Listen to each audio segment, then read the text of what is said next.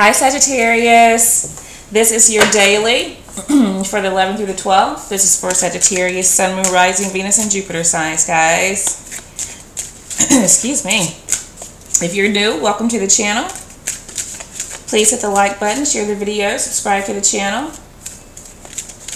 I have a message for a viewer I'm not sure exactly what sign you are, Miss Smith, but I've received your payment. I just need to know your email address and I need you to email me that information, okay, so I can get your reading to you.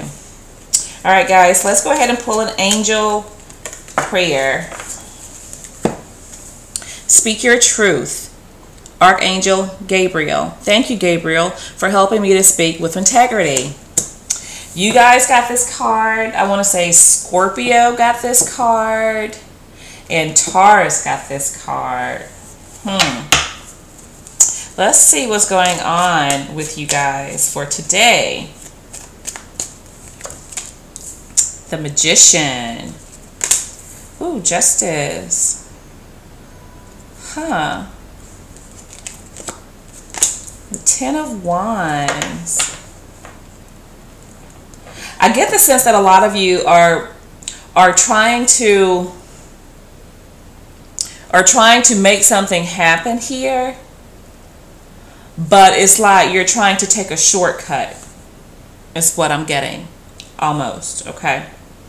And what I mean by shortcut is like like like trying to make something right without actually admitting that you're wrong if you were wrong okay? Because you're you're wanting to make things right but it's like you're struggling with what it is that you know you need to do. It's a struggle for you. I feel like maybe for some of you it's hard for you to apologize even because um, you almost feel like you're eating you know what? All right so let's see why this is happening. There's gemini libra energy here. Does not have to be those signs but that's the energy that's present Hmm. Let's see how many cards we have here. Ten of Swords for sure. Three cards. Hmm. A lot of times for me, um, a lot of people will probably say that the magician and the high priestess are like, you know, they're a couple. But the high priestess does not really speak. You know, it's like secretive energy. But both the magician and the empress, they are like, you know, they do things, they make stuff happen. Okay. So I feel like this involves like your counterpart. This involves somebody that you feel like is truly like hot stuff. they are the one. Um, they embody everything that you feel like you need in a man or a woman. Okay? Now, also for me, of course, the emperor, you know, and the empress, they're also they're also a couple here. Um, but yeah, this this is your counterpart now. All right. Again, uh, Libra energy here, maybe Taurus, Aries. Hmm. Then we have the Nine of Swords and Ten of Swords. Like I said, you're struggling with making something right here. And, you know, it's like you're not wanting to really suck it up. And that's just what I'm getting. Um, you're wanting to like you're wanting to end all of this negative thinking that you're feeling.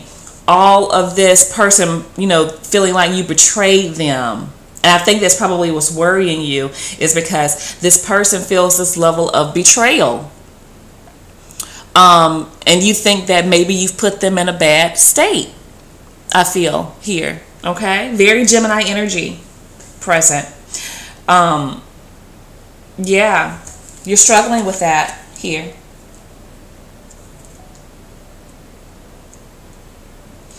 I think you strongly want to apologize to somebody because um,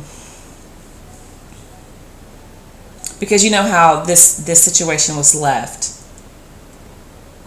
You're constantly thinking about it. But there is a need for you to act. There's a need for you to do what is right, regardless of how hard it is for you to um, to do. But I feel like it will it will lift a weight off of you. You will throw those wands off of your back if you get this off of your chest, okay? So let's see what the outside influence is for you guys. Here's that ear. Hmm.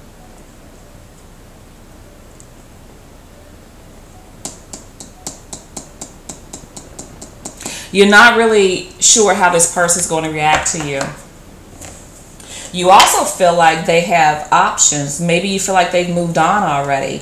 Um, but you know, a lot of you, this is this is you just not being sure here with this Seven of Cups how this person is going to react. You don't even really know what's going on with them, I feel.